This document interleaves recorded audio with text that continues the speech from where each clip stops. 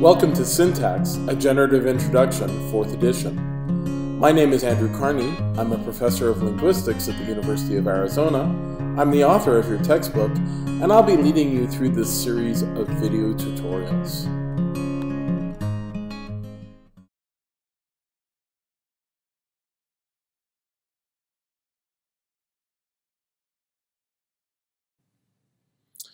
In the last video, we talked about theta grids, the theta criterion, and theta roles.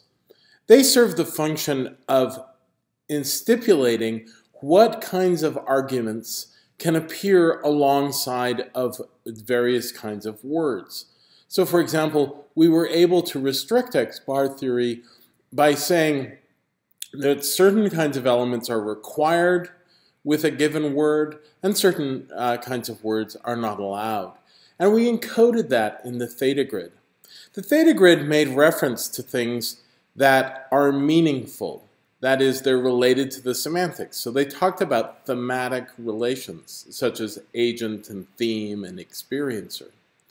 In this video, we're going to talk about a case of DPs that appear not to have a theta role, which is a little bit concerning when you have the theta criterion, which says all noun phrases or DPs must have a theta role, and all theta roles must be assigned.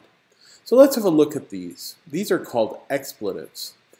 Expletives um, come in two major forms. One major form are what we call uh, the DP that comes along with uh, weather verbs. So uh, verbs like it rained, it snowed, it hailed, now, they also show up with certain kinds of uh, predicates like is likely. So it is likely that Bob left. The it there is uh, an expletive.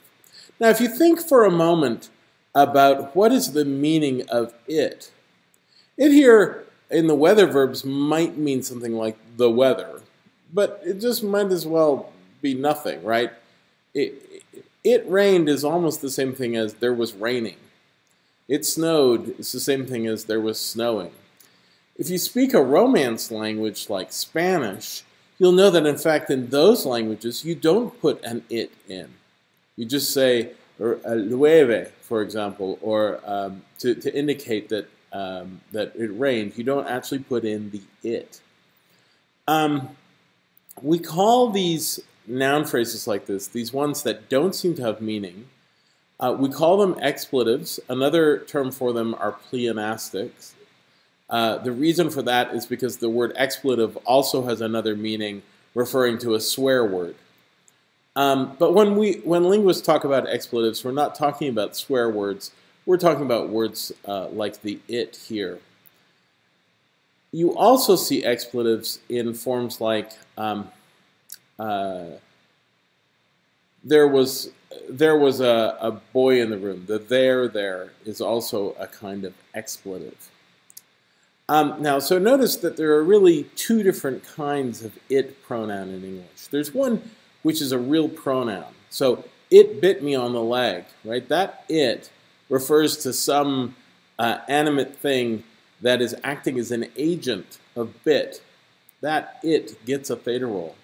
But think about it is likely that I'll leave. What is likely that you'll leave? Right? There, there's no theta role associated with that it. In fact, the only thing that appears to have a theta role is that I'll leave. That's the only thing that's required by is likely. Nonetheless, we have to have this expletive pronoun. And it's a bit of a mystery because it doesn't appear to have a theta role. Um, so we have these two kinds of uh, predicates that seem to take these expletives. One kind are uh, words like rain, the weather verbs, which appear to take no uh, arguments. And the second class are classes like um, predicates like is likely. And is likely seems to take a predicate, but it isn't the it. You can see this by virtue of the fact that you can actually put a clause in the subject position of is likely. You can say that John will leave is likely, and it means the same thing as it is likely that John will leave. So the only required argument is that clause. We're going to make up a little uh, theta role to stick in the theta grid for is likely, And that's called proposition. Proposition stands effectively for a clause that states um, something. It, it, doesn't ask a question or it doesn't negate something. It is uh, a proposition. I am saying this is true. Um, so what we have here is we have a CP uh, for the embedded clause that is a proposition, and that's the element that gets the theta role from is likely. And it gets that theta role whether it's in the subject position, like that John will leave is likely, or whether it's in the complement position, like that uh, it is likely that John will leave. But what's critical is the it in these sentences does not get any theta role. So how can you have an expletive uh, why would you have an expletive that gets no theta role if all DPs require theta roles? Well, this the, to answer this question, we actually have to ask the question, why might expletives exist? One um, plausible explanation for this is a rule you may have learned about in elementary school, um, which is essentially every sentence must have a subject. And that seems to be, at least in English, it's not really true in Spanish or um, languages like Japanese or Chinese. But in a language like English, it really seems to be the case that every sentence has to have a subject. Um, for reasons that need not um, worry you here, the name of this constraint is kind of counterintuitive. It's the extended projection principle. And it has to do with the history of the field, why it has this name. The linguist David Pesetsky has suggested that we should reframe this as the extra peripheral position, meaning the subject position is extra peripheral. Um, in any case, we abbreviate this constraint, the constraint that every sentence must have a subject, as the EPP. So whenever you see EPP, you just have to think every sentence must have a subject. So let's look at a verb like rain. Rain doesn't really have any arguments. It just happens, right? And that, and you can see that's true when you look at languages like um, uh, Spanish, where you don't have to have a DP subject position. So the sentence rain seems to meet the theta criterion. It, it's a verb that has no uh, theta roles to assign. But nonetheless, it's ungrammatical in English. Why? It's ungrammatical because of this constraint or filter called the EPP. Um, now, how do we solve this problem in English? In English, we have a special rule, which is the rule of expletive insertion. And effectively, this is uh, insert an it into the subject position of a clause.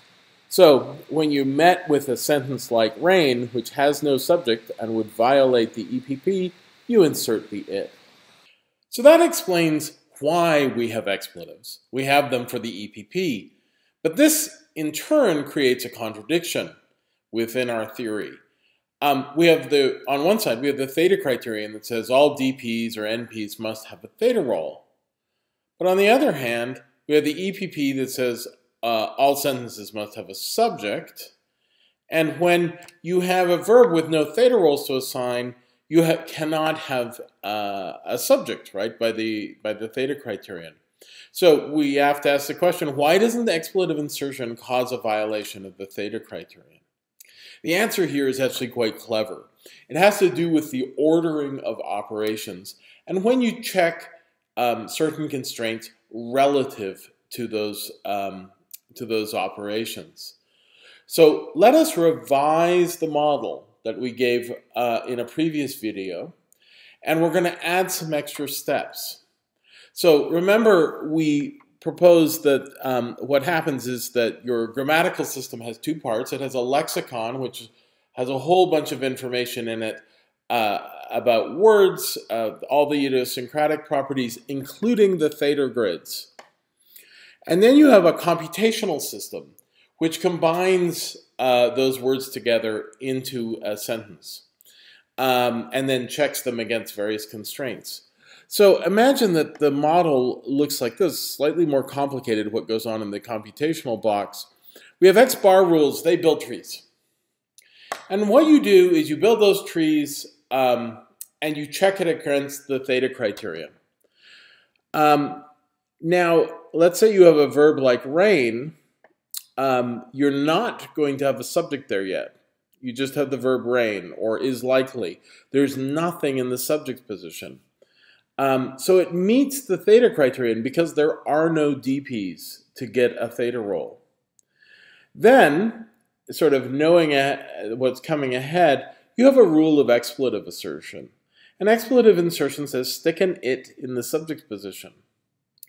Then you check the binding conditions and the EPP. Now, once you've inserted that it, you're meeting the EPP. So the reason that expletives don't cause a problem for us is they're inserted into the tree after the theta criterion, but before the EPP. If you order things this way, you get the judgments that we predict to happen in a language like English.